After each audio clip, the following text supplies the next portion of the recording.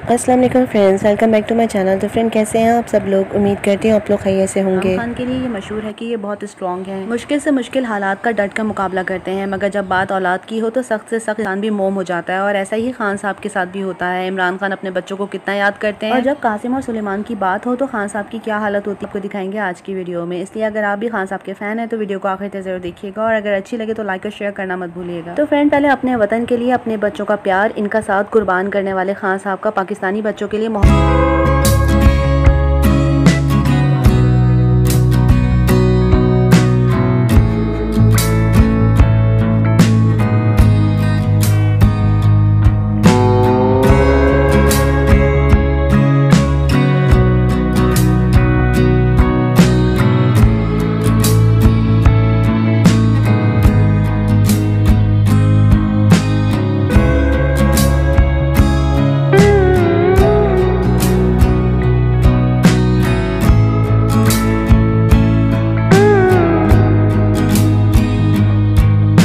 अब देखें कि दूसरों के बच्चों से इतना प्यार करने वाले अपने बच्चों के लिए क्या कहते हैं। कासिम और सलमान मैंने उनको ढाई साल हो गए नहीं देखा।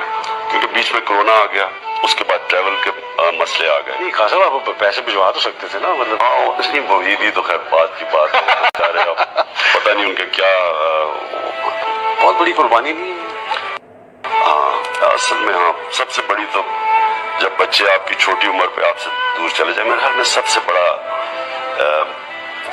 तलाक की जो सबसे बुरी चीज़ होती है जब आपके बच्चे आपसे चले जाते हैं। कासिम और सलमान तो फ्रेंड खान साहब अपने बच्चों से सालों नहीं मिलते और अब खबर यह है कि ईद पर ये दोनों आएँगे पाकिस्तान ईद मनाने और अपने बच्चों के लिए तड़पने वाले खान को भी आएगा करार। तो आप इमरान खान की इस कुर्बानी पर क्या कहना चाहेंगे? कमेंट करके अपनी राय का इजहार ज़रूर कीजिएगा। आपकी राय के इजहार का इंतज़ार है।